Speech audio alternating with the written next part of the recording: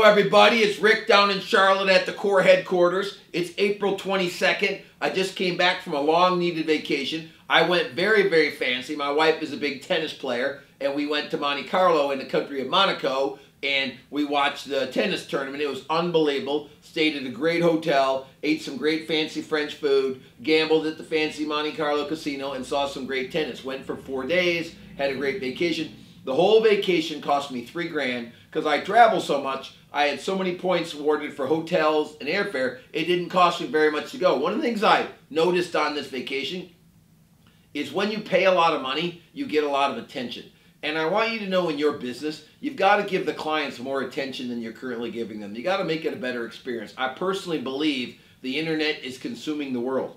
And I think that um, people are going to get more comfortable doing business on the internet the thing that we have to offer is our personal experience and our personal service that we care for the clients.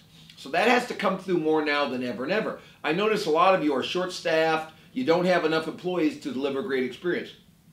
You know, I have a summit coming up in two weeks in San Antonio, and I've been doing this for 18 years, and this is the third one that was ever not sold out. And it's not sold out because I wasn't active enough in filling the event you want to have your best player in the game. One thing I know about me, I'm a really good salesman, I'm a really good coach. When I'm talking to my clients, good things happen. When I'm talking to my employees, good things happen. So I put a lot of pressure on my team two or three weeks ago. They stepped up, they made a lot of sales in the last three weeks, but we still fell short. The lesson is I have to be more involved sooner, and my team has to play bigger.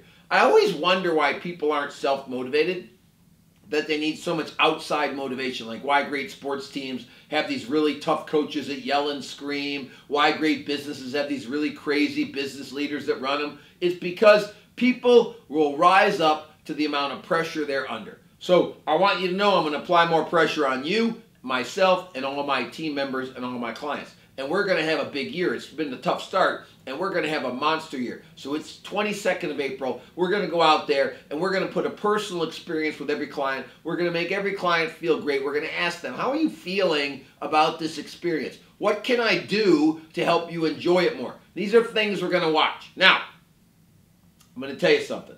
You're watching my videos. There's about 60,000 people that watch my videos every time I send them out, every week. So you're watching my videos. It's time to take some action. You need a coach. If you're not going to hire me, hire somebody else. But if you're in the mortgage and real estate business, you should look at hiring me. I got a level one for 400 a month. I got a level two for 1250 a month. I got a level three for three grand a month.